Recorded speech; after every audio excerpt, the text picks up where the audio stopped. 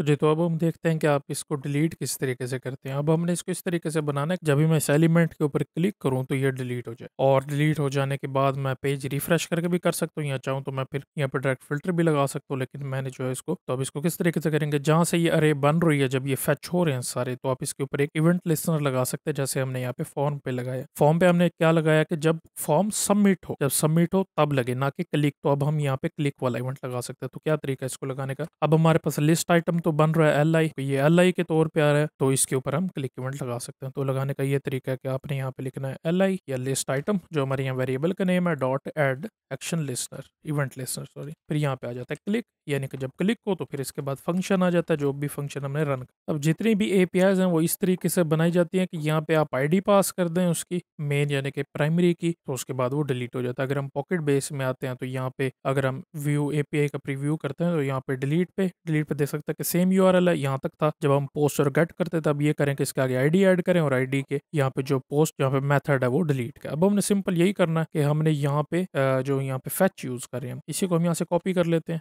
Copy करके यहाँ paste कर देते हैं। यहाँ पे आप स्लैश लगा सकते हैं, ठीक है? स्लैश लगा के आगे प्लस यानी कि इसके आगे हम आईडी ऐड करेंगे तो जो हम एलिमेंट पहले से फैच कर रहे हैं, इसके अंदर इसकी आईडी अवेलेबल है। तो यहाँ पे डॉट एलिमेंट डॉट आईडी आ जाएगा, ठीक है? यानी कि अब हमारा यू कंप्लीट हो गया, हमने आईडी ऐड कर दिया। अब यहाँ पे सिंपल मेथड हमने लिखना तो मेथड आ जाएगा मेथड जो है वो डिलीट करेगा यहाँ पे। डिलीट का मेथड आ गया। अब फिर हमने क्या करना है कि यहाँ पे डॉट देन जब डिलीट हो जाए तो यहाँ पे हम इसको कर देते हैं कि रिज़ल्ट में दिखा दे के, या अलर्ट कर देते हैं हम यहाँ पे। अलर्ट में दिखा दे हमें कि data has been delete been और इसके बाद आप चाहे तो यहाँ पे डॉट कैच भी ऐड कर सकते हैं। मैं कैच भी ऐड कर देता हूँ यहाँ से। इसी को कॉपी कर लेते हैं, कॉपी करके यहाँ नीचे पेस्ट कर देते हैं। अब इसको एक दफ़ा टेस्ट करते हैं। यहाँ पे मैं वापस आऊँगा, एक दफ़ा रिफ्रेश कर लेते हैं। अगर मैं पे एंड पे क्लिक करता हूँ तो ये आ गया कि डाटा हैज़ बिन डिलीटेड इसको मैं रिफ्रेश करूँगा तो ये नीचे से जा चुका है। और यहाँ पे अगर मैं अपनी पॉकेट बेस में आके चेक करूँ यहाँ पे इसको रिफ्रेश करता हूँ तो ऊपर पहले नंबर पे दिया हुआ था वो रिमूव हो चुका है। जो दूसरे नंबर वाला इसको भी मैं डिलीट कर देता हूँ। यहाँ पे आके रिफ्रेश करूँगा तो ये देख डिलीट हो ठीक है, अब ये काम कर रहा है। लेकिन यहाँ पर हमें एक और मसला है कि अगर मैं यहाँ पे एक और यूज़र ऐड करता हूँ, मिसाल के तौर पर ये